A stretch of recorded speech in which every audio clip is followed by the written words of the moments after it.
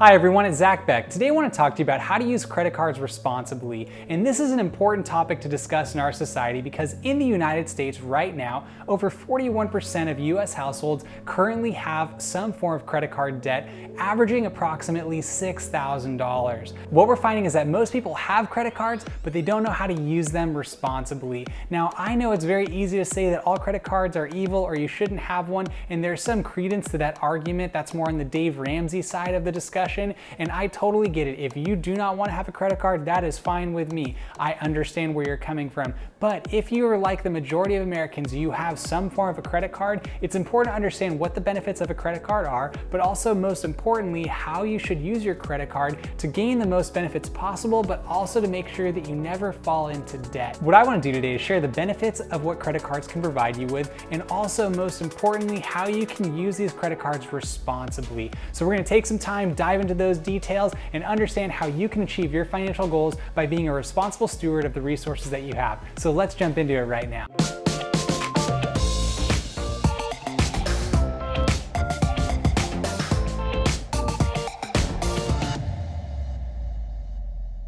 All right, before we jump into how to use credit cards responsibly, let's first talk about how credit cards work and how you can utilize them in understanding their benefits. So first of all, how do credit cards work? Money on a credit card is basically an advance loan. When you use a credit card in a transaction, you are not spending your own money at that very moment. A different credit card company is giving you the money to spend in that instance. Then at the end of the month, you are supposed to pay the remaining balance back to the credit card company. And herein lies many of the problems because the credit card companies will often offer, offer you the opportunity to pay the minimum payment on that balance that they have given you. For example, let's say you bought a $100 item at the store on your credit card. Then at the end of the month, they have the option of paying the minimum payment. And say, let's say that payment is $10. So then you pay $10 instead of the full 100.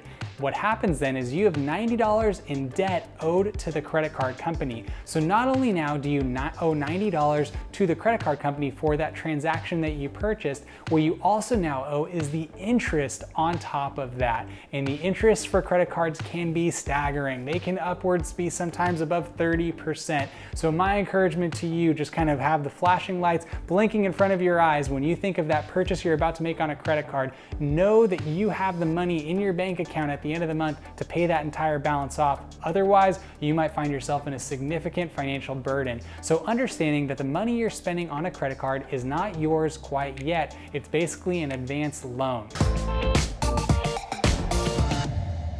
If you're able to be responsible with your spending and be accountable when it comes to your budget, then there are three good reasons for you to have a credit card. The first benefit is security, and that would be because when you purchase something with a credit card, you have more security than when you purchase something with a debit card. And that is due to the Fair Credit Billing Act passed by the United States Congress, which basically provides that all fraudulent charges on credit cards go back to your account. So if someone steals your credit card and makes a transaction with it, you are protected. Whereas if someone someone steals your debit card and makes a transaction, you are not protected by the law. So what I would encourage you to do is that if you are able to maintain strict spending habits and you're not going to ever run up your account and run up your balance and not pay off your bill on a monthly basis, if you're gonna be diligent and respectful, look at the security benefits of a credit card. Now, on the other hand, if you just wanna use your debit card, make sure that you're mindful of where it is at all times because you never want someone stealing that and using it. So they're very various approaches you can take. I'm just saying that security is one great benefit of a credit card.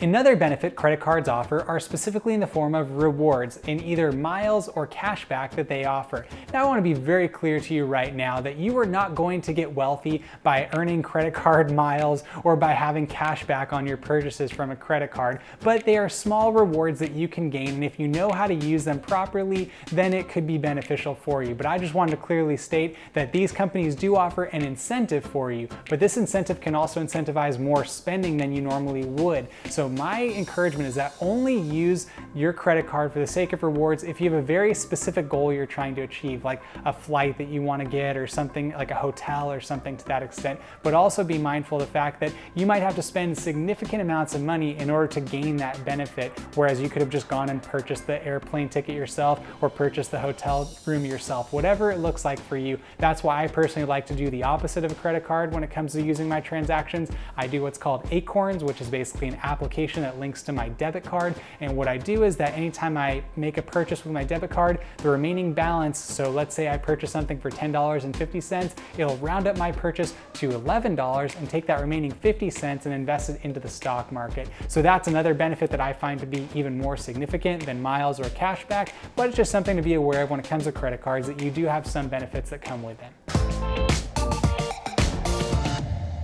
Now, the last and most important benefit of having credit cards is in our society, we all need credit, and specifically in the form of maintaining a good credit score. And there are different approaches you can take, but you need to have a credit score in order to be able to apply for a mortgage, in order to be able to apply for a car loan, and generally sometimes for going and doing something as simple as being able to rent a home or do something along those lines.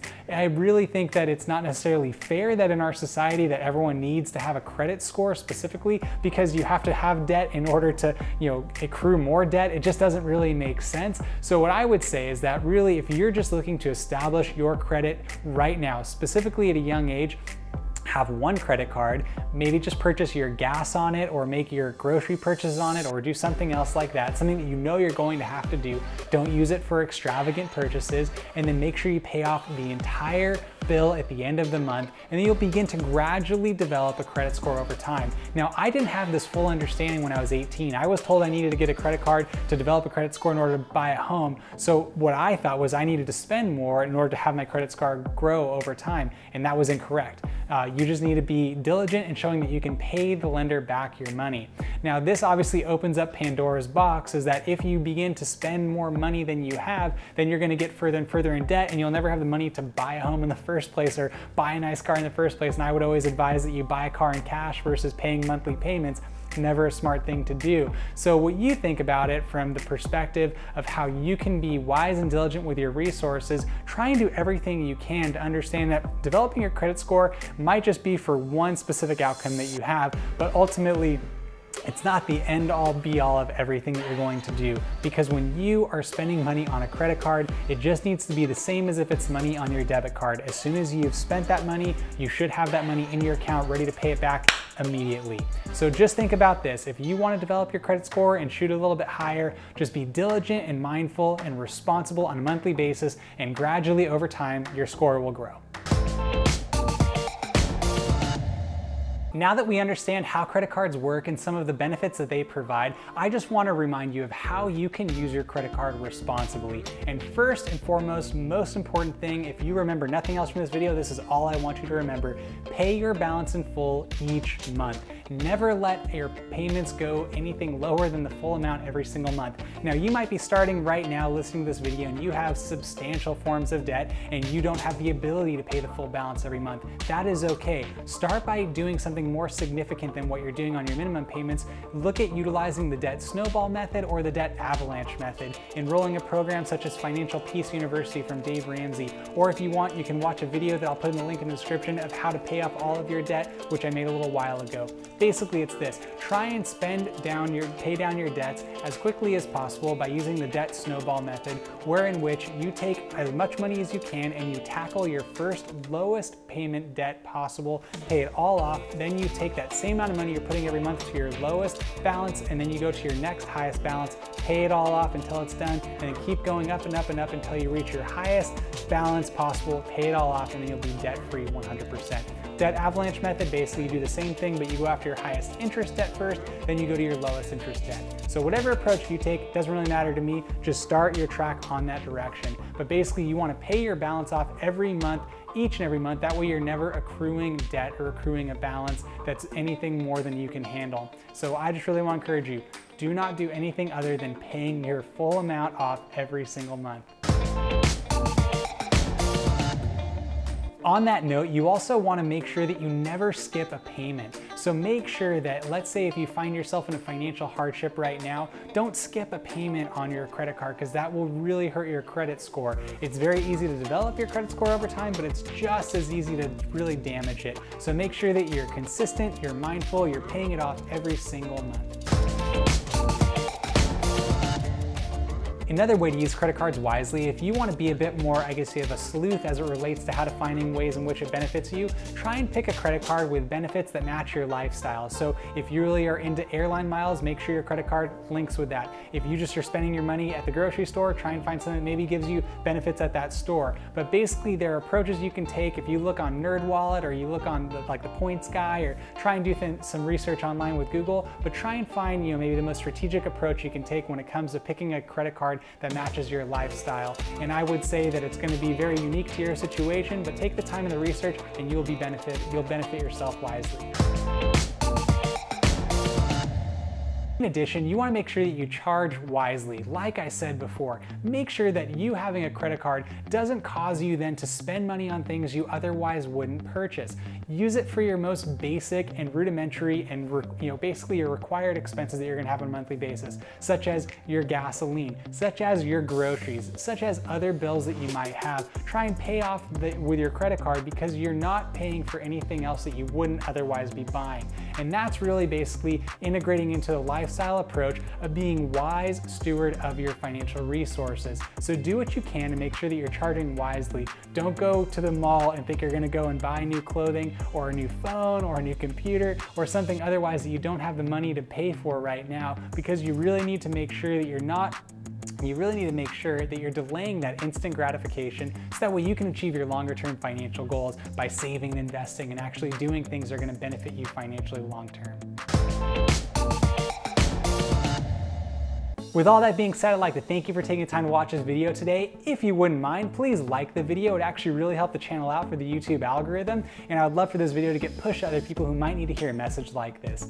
In addition, if you have any questions or comments, please comment down below. I'd love to interact with you, get to know you, answer any questions you have, share more information about myself, and be able to carry on a conversation that hopefully is meaningful and productive.